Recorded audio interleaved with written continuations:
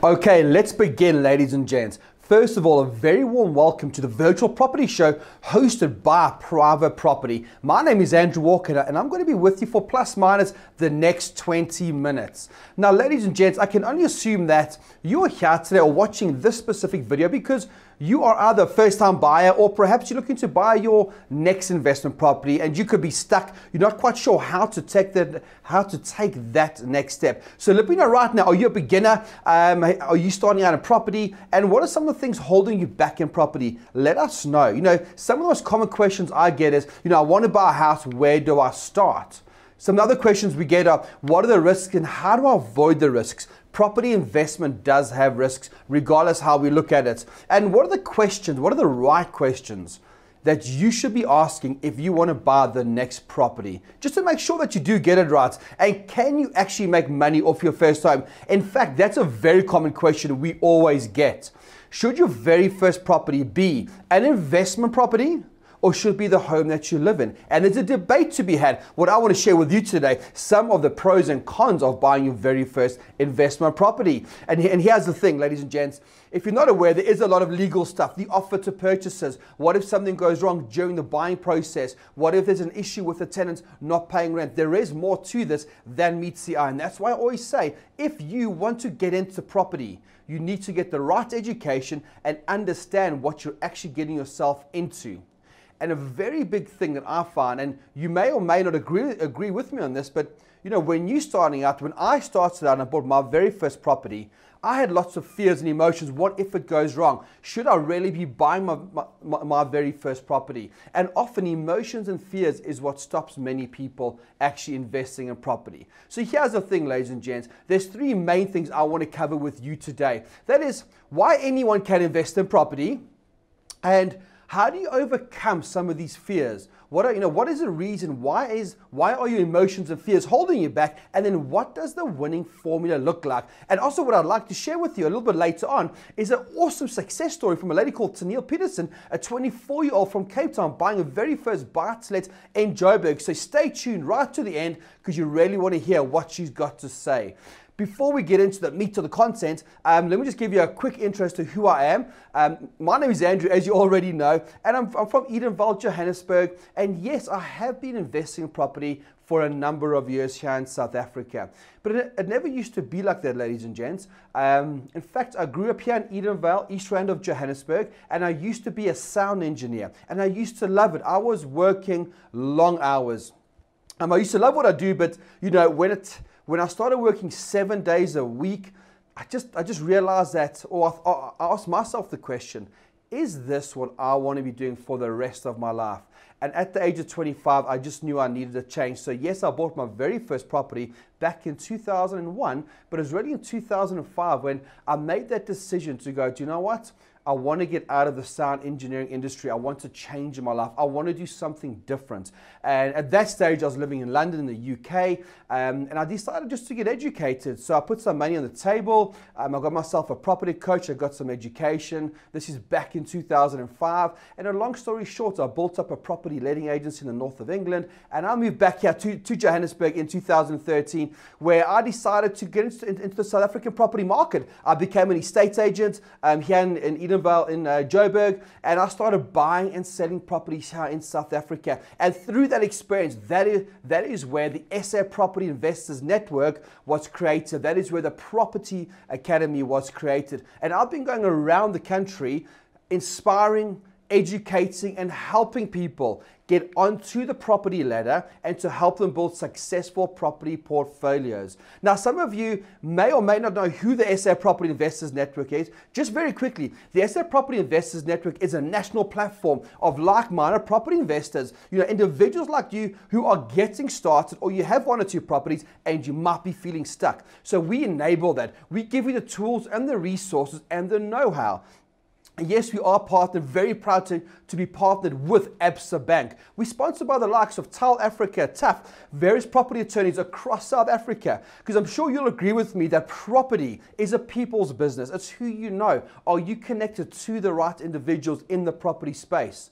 And that's what we do at the SA Property Investors Network is we connect you and we give you the tools and resources. And as that is happening, ladies and gents, I realized that property is not as easy as people may think it is. Yes, I can, you know, one can go to an estate agent and buy a property and they may or may not make some money or they may get a, a good buy.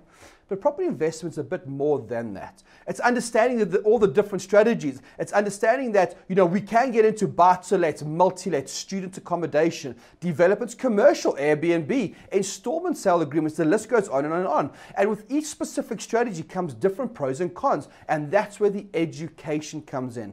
That's where you really got to understand. And I'll talk about this later on. What is your winning formula? What is your plan? What is your strategy? Because once you understand that you'll start getting into, in, in, into depth into what area should you be investing in and who's going to support you along the line. Will you need a property coach? Do you need a bit more education in the specific sector? Because remember, you have to understand the property market. You've got to know the basic fundamentals of property and you just may need a property coach. It depends where you are in your journey. And that's what we created, ladies and gents, the SA Property Investors Network and the Academy to help and support you to make sure that the next purchase that, uh, that you make is going to be a, a, a, positive cash flowing property if you are looking for cash flow or perhaps it could be a property flip who knows what i what i actually recommend is after this video make sure you come see us at the exhibitor stand at the SA Property Investors Network or the Property Academy and come have a chat to us. But let's get into this right now, ladies and gents. Let's, let's get into why are most first time buyers fearful? Why is it, you know, what are they actually scared of? Now, what I've realized through my journey is, regardless of property or anything, a lack of knowledge always leads to a lack of confidence. And if you don't, if you don't know what you're getting yourself into, there's something called the fear of the unknown. It's a very common fear. I'm sure you've got that fear. I've had that fear. I still have that fear in certain things that I do in life. If you don't know what you're getting yourself into, you're going to lack confidence. Just think about this. If you want to become a pilot, for example, are you going to jump into a plane, get into the cockpit, and start flying a plane with, with, with no training? Of course not. You're going to get trained. You'll spend years and years and years getting trained to become a pilot. So, what, so what's different with, with becoming a professional property investor? If, if you want property to be your career, you're going to have to spend some time educating yourself, taking it one step at a time. The problem with most people in property is they jump and they start buying properties, but they don't know what they're getting themselves into, and therefore they lose money and they say property doesn't work. Or they sit on the sidelines going, I want to jump into property, but I don't quite know what might happen. The problem is you're probably trying to do this by yourself. What you'll realize is if you sat there going, I'm scared to get into property, here's my advice to you do not go buy a property just yet. First, get the education, understand the pros and cons of if I did buy a property, what could go wrong? If I did buy a property, what could go right? If I need to get out the property, what are my exit strategies? Let me understand the offer to purchase. You see, once you start understanding all of that, when it actually comes to buying your very first property through a portal like private property, it makes the process so much easier and less stressful. So that's what you got to do. Write that down. Just understand what your plan is, what is your strategy, and how can I execute that? What's the what do I need to know about that strategy? What can go right and what can go wrong? Because once you understand that, you start saying, hang on a minute, this isn't as scary as I thought it was. And that's the reason why most people are scared is lack of confidence. Now think about it. You know, I just I sat there, I was thinking, what are some of the pros and cons of actually buying a property? Can you think of any? Let me know what some of the pros and cons are. Okay, so I've got there. Look, one of the pros of starting to build your property portfolio is you're starting to build your wealth. Just make sure that you do a bit more due diligence on the area and the property. This is where TPN, write that down for me, TPN and Lightstone come in. So a pro is, hey, you're going to be buying your very first property or your next property investment you're starting to build your wealth. And remember, the great thing with property, if you get it right, you're starting to build cash flow today and you're going to start building the equity for the long term. That's where your real wealth comes in. Is property is a long-term game, not a short-term game. One of the cons though is you have to acknowledge that now if you are if you, if you are taking out that very first bond or you're getting your second bond, you are now responsible for that loan. So even if your tenant does not pay rent, you've still got to pay that loan. And that is a responsibility that you're taking on for the next 20 years. So, look, if you are worried about that and you're worried about what if the tenant doesn't pay rent, Look, look at certain companies like Sap and Drive, Expello, Rentmaster. Look at the different insurance companies out there where you can insure against that specific uh, loss. What about um, another pro? So, pro to me is by you actually getting on the property ladder and starting to pay your bond or a tenant pays your bond, you're starting to, you know, at least you're paying down a bond and you're not paying down someone else's bond. So again, you're starting to create wealth because other way, you either have to rent a house or you're going to buy a house. There's one or the other. So, you know, rather, my, my view has always been rather pay off your own bond or get a tenant to pay off your own bond rather than renting from someone else. That's my opinion. Another kind of thought, and, I sat there going, what are some of the risks I've had in property? One of the risks I've had in property is what about maintenance, general maintenance? I'm renting a property out and, you know, 10,000 rands coming in as my rent and I'm paying my bond, I'm paying my rates and levies, great. So I'm, I'm, break even as an example, I'm making a small profit, and then bang, I start getting hit with maintenance. Well, maintenance, depending on the maintenance uh, that, that occurs on your property, in a lot of cases it falls under your lease agreement. So, so now you're liable for that, and you've got to pay for that. So you've got to make sure that you do have a budget for general maintenance on your specific property. Very important. And this again is where people go wrong. They don't run their numbers. They talk about the rent covers the bond.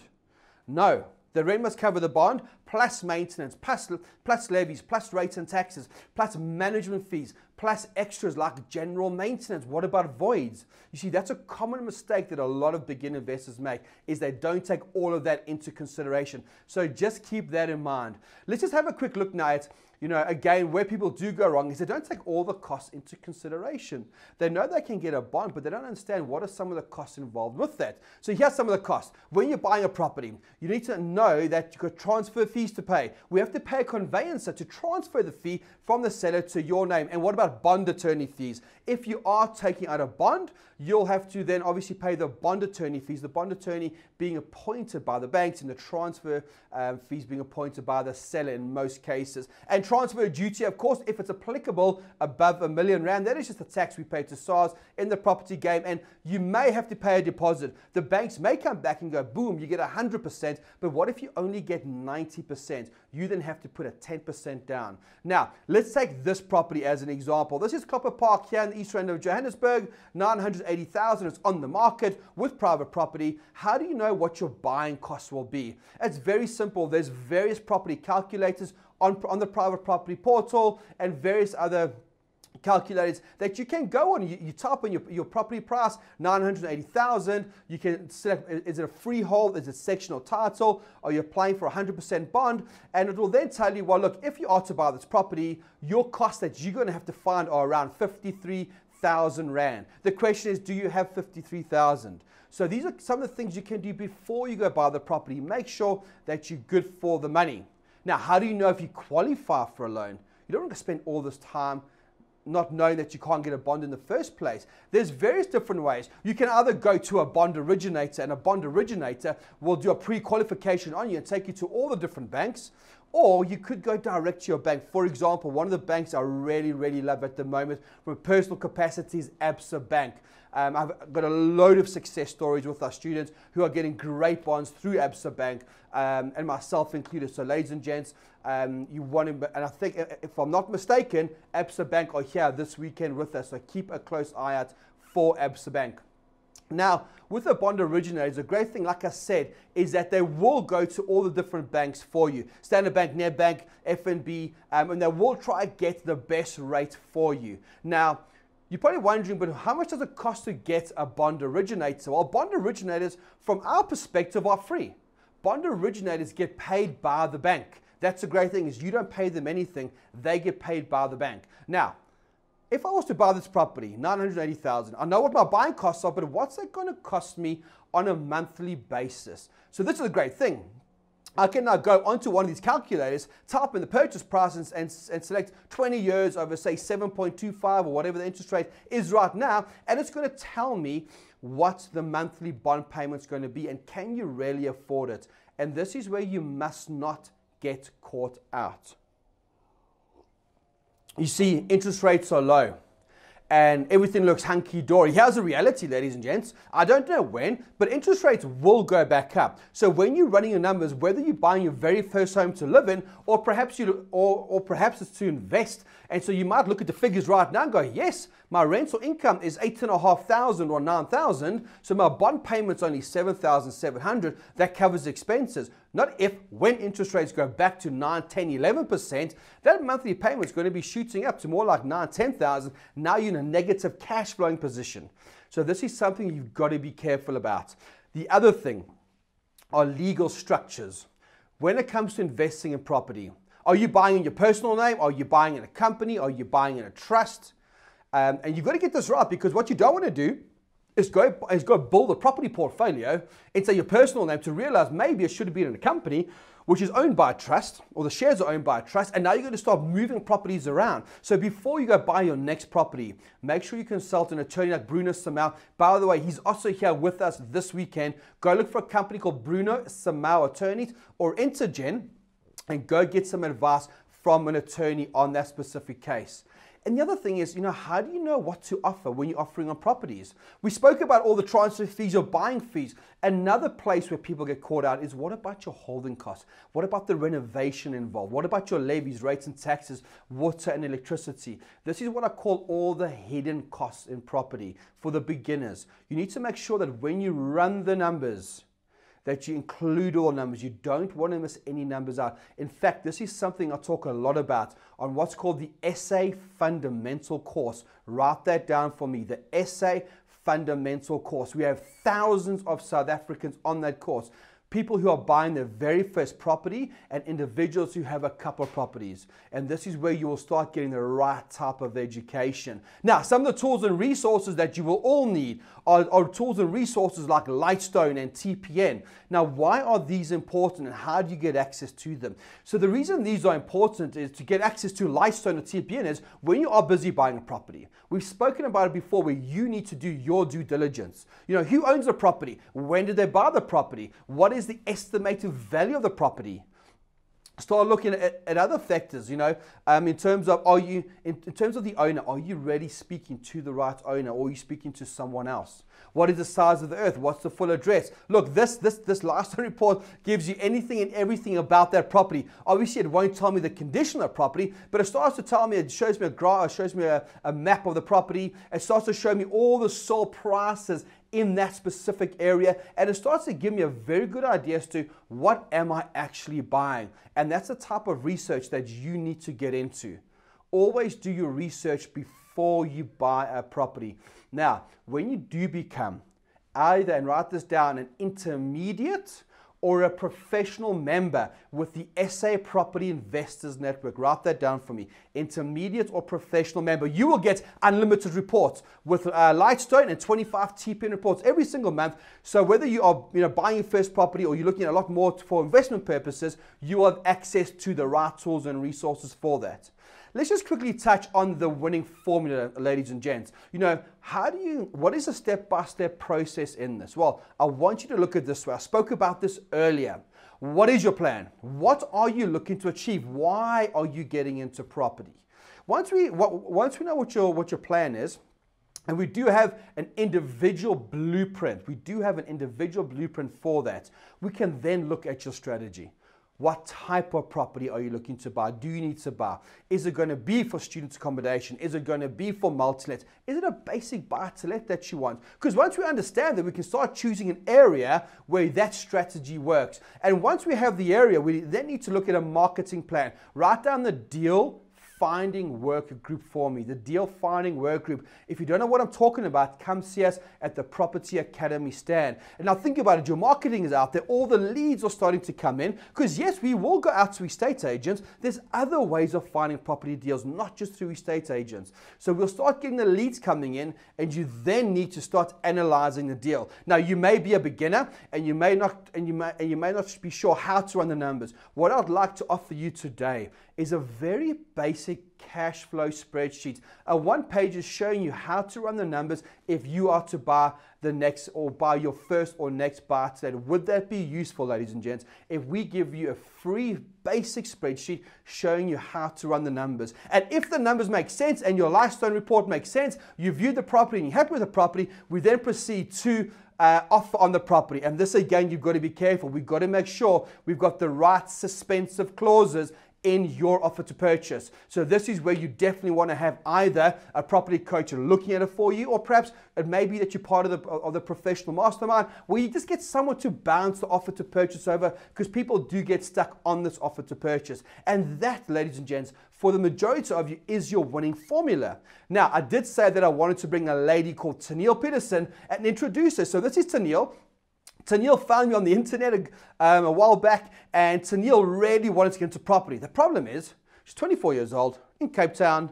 She's a teacher. She knows nothing about property. You know, how and where does Taneal get started? And we've had an awesome journey with Taneal. Ladies and gents, let's see what Taneal's got to say now. Hello, my name is Taneal Peterson, and I'm a 24 year old first year educator, and I teach a lovely bunch of grade 4 children. I'm also a property investor and this is just a short summary of my investment journey so far. My investment journey started in April 2020 when I met Andrew Walker via video call. He spoke to me about the Property Academy, which offers various courses about property investing. And then he also spoke to me about SAPIN, which is a network of South African property investors that I could work with in the future. Five months down the line, in September 2020, I have officially secured my first property investment a two bedroom, one bathroom apartment in Kempton Park that will be paying for itself. The past five months have been incredibly busy for me. I've had to learn new things, practice them, and set things up for now and my future. I completed the Fundamentals course, which is a 12 module course offered at the Property Academy and it teaches you the basics of property investing. So I had to learn how to run my numbers, practice it, go out to properties and determine whether the property was worth my worth pursuing it or just leaving it as is. I had to go out and practice all of these things that they were teaching me on the course. I also set up my own entity. So I set up a company for my properties as well as a property trust to make sure that my investments made now and in the future will be kept safe. And then the last thing I've done recently is setting up my website and uh, social media pages. And this is to generate leads and to ensure that my company is making an income at the end of the day. All of these steps that I've done along the way was because of the guidance and the education I received from the Property Academy and the various people that I met along the way at SAPIN and the Property Academy. In my parting words of wisdom, I'd like to leave you with a quote by Amelia Earhart. The most effective way to do it is to do it. Thank you very much. So there we go. That's Taneal Peterson, ladies and gents. An awesome success story. So we're coming towards the end of this. This is what I encourage you to do. There is something called the free accelerator course that leads into the SA fundamental course. The free accelerator course is going to give you some awesome videos around running numbers, creative finance. You know, how did Taneal get started? What Taneal went through the accelerator course. So ladies and gents, there is a link in the box click the link, make sure you watch it. It is for free and it's going to give you a really good insight into getting into property. And at the same time, ladies and gents, please come see us at the exhibitor stand at the SA Property Investors Network as well as the Property Academy. Now that is our 20 minutes up. I hope you got I hope you got some golden nuggets out of that. And if you have any further questions, we've got loads of downloadable content. We've got that very cool buy to let calculator. There's a free accelerator course, and my whole team is waiting for you. But if you have any questions right now, feel free to ask them.